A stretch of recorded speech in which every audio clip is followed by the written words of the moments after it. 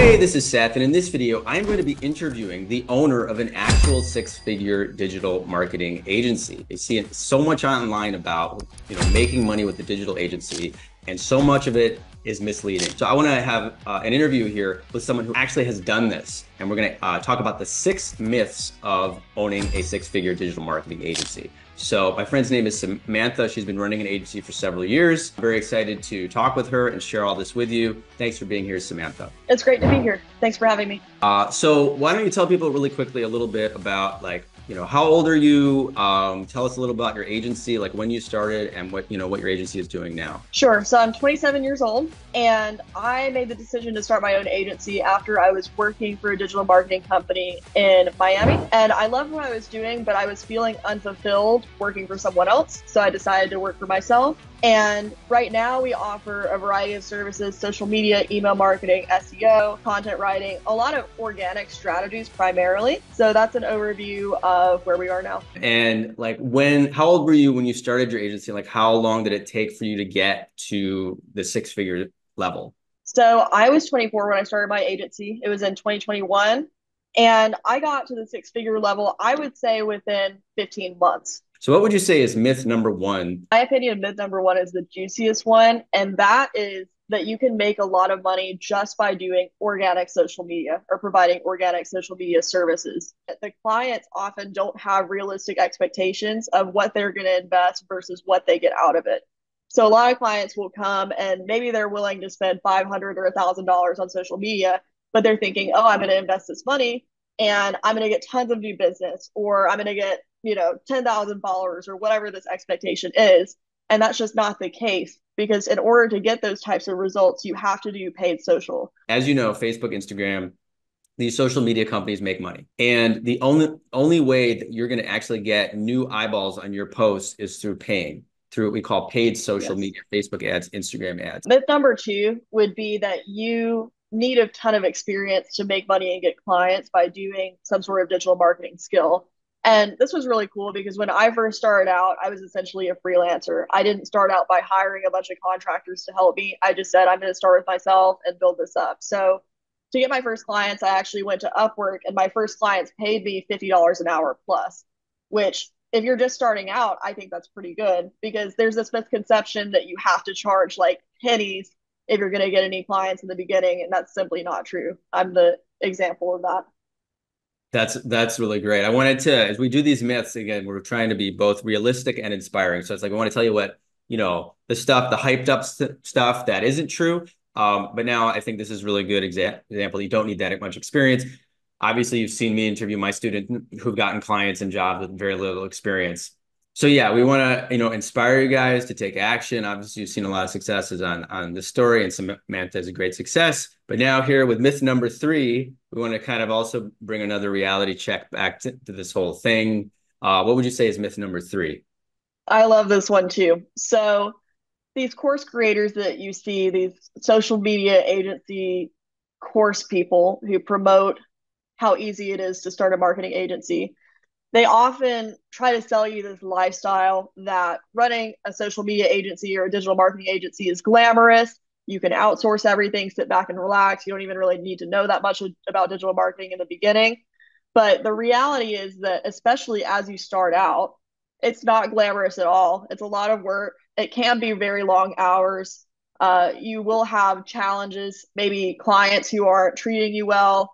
Uh, you do have flexibility to an extent, but you also have more responsibility because you're working for yourself and you're dealing with all of the challenges that come with that. So the lifestyle they're selling you is not reality. You do get certain flexibility, but definitely don't go into it thinking that you're going to live this amazing, glamorous lifestyle from the get go. What would you say is myth number four about running a six figure digital marketing agency? So another thing a lot of these course creators say is that it's very easy to outsource tasks to various contractors that you hire for different things. And I would say that's definitely a myth because I have had the pleasure of working with some incredible people in my time in my business.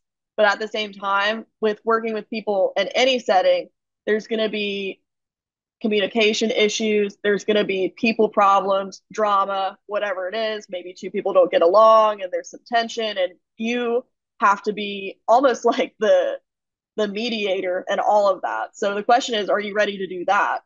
Are you actually enough of a people person to be ready to resolve those issues? And the other thing too is whenever you hire contractors to help you, you become responsible for their work. So especially if they're client facing, which for example, if you wanted to spend your time on the beach and having other people do all the work, then you have to have some of those contractors being client facing.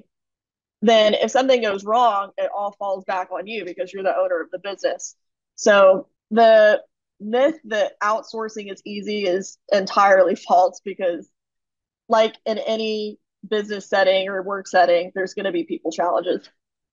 That's that's uh, that's really well said. I mean, finding good people is in and of itself. I mean, th- think about it, guys. There are billion, you know, there's a billion dollar industry in recruiting.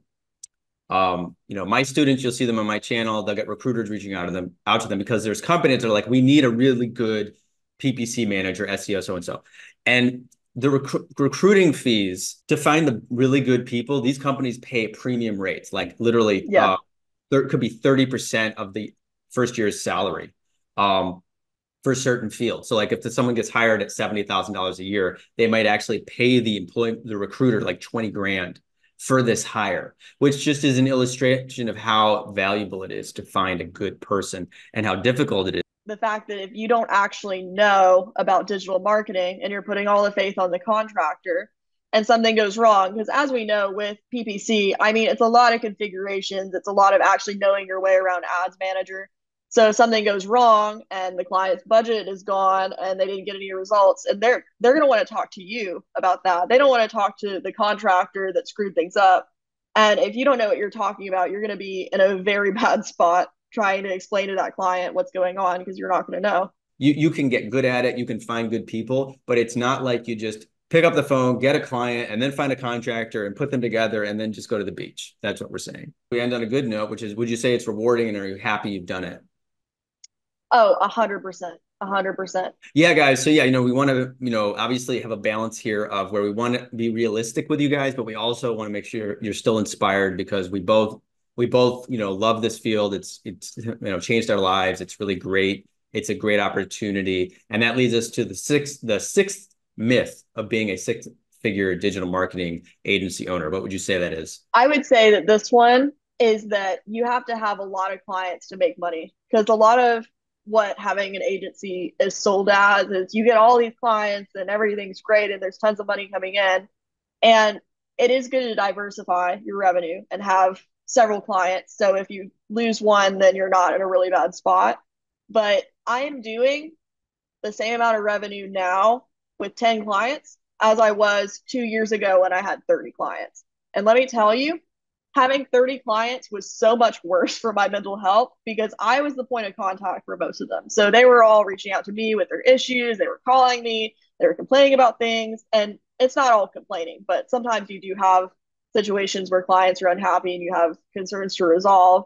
And if you're the point of contact, it's a lot easier to do that with 10 clients versus 30.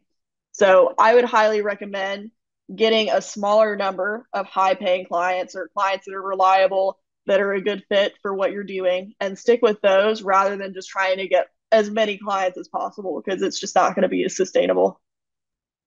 Absolutely. I know we've been focusing a lot on the reality of the difficulties, but what has your life been like running an agency? Like oh, what what is the good the good stuff?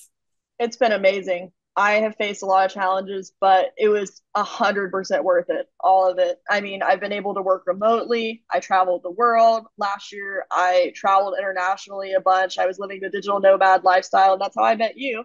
But you know, I went to Spain, I went to Thailand, El Salvador, uh, traveled around the U.S., was in California, Florida, wherever I wanted to go. And for me, I was just I think about this all the time. Like, if I died tomorrow, I would be happy because I would just know that I've lived so much more than what a lot of people have. And I'm just really grateful for the opportunity and the life that it's afforded me. Absolutely. I think it's really funny. We we said this at the end of the interview. I think it's like the reward people that actually like want to learn this stuff rather than you know front loading it with like, oh my god, everything's so amazing. Um, yeah, which I do, I do, you know, in some interviews, but um, maybe I'll even like cut it in there or something. But yeah, just put it at the beginning. but I think it's it's worth um, you know, I think people understand that obviously having this kind of lifestyle is great and mm-hmm. we just wanted to give people a sort of realistic take on it. But I think it's awesome. I also, like, I just tell you, I was very impressed with you when we met, and I remember we were, um, it was funny, because we were hanging out at like Sticky Island Cafe, and you were like, we were just hanging out and we just talk, you know, geek out about digital marketing and talk about things, and you were very chill. And then you got on a call with your team, and you like changed. Oh yeah. You were just like, you're just the boss. You're just like, okay, no, no, no, no. Here's what we're gonna do here. Okay, no, no. Here's what we're gonna do. Okay, and then okay, great. And you were just like in control. It was really, really like funny to, to listen to you. You like changed mode, went into boss mode, and then you like came back and were like, so, you know, what's for dessert? It was really fun. Yeah. So yeah, is there anything you want to say to anyone watching the interview now about digital marketing or starting an agency?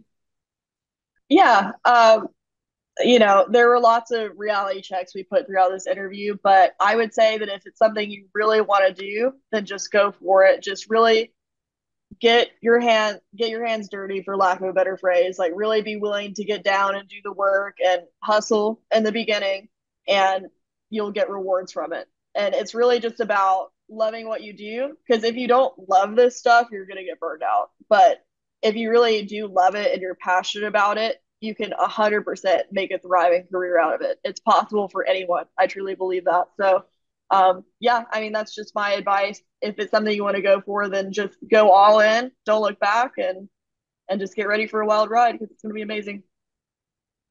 Well said. Well said. Well, thanks again, Samantha, for you know sharing your insight here. Um, you know, guys, if you have comments or questions, feel free to leave them below this video. Um, thanks again, Samantha, and you know, maybe we'll talk again in the future.